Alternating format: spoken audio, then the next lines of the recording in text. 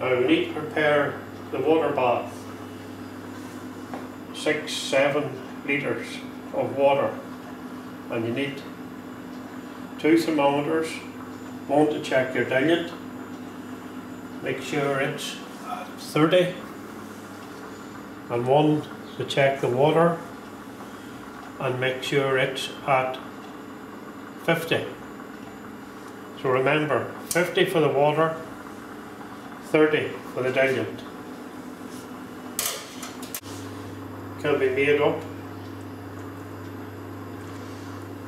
to do two sows. So you put a little diluent at 30 degrees into two bottles. Each one has got a blue top that identifies it as Oxford Sandy and Black. You lift out one of the straws.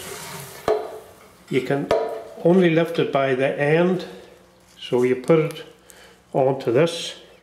Remember you lifted the straw out by the end. Now you need to get it in the middle. And you check your clock. At 22 you put it in to the end, move it round gently through the water. Needs to be kept moving gently through the water. Watch your clock. Remember it's 50 degrees for 50 seconds. It went in at 22 so it comes out at half past. That's your 50 seconds gently through the water.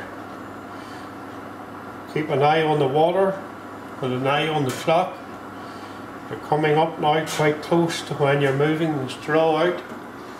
When it comes to the half past, then you're taking your straw out. You're taking this end off. Remember, keep it pointed away from you because it can sometimes comes out quite quick. Turn it into the bottle. This is the name of your boar. Take the other ball out of the other end and then gently flush your straw with a little of the diluent. And remember, your diluent was at 30. Top up your bottle.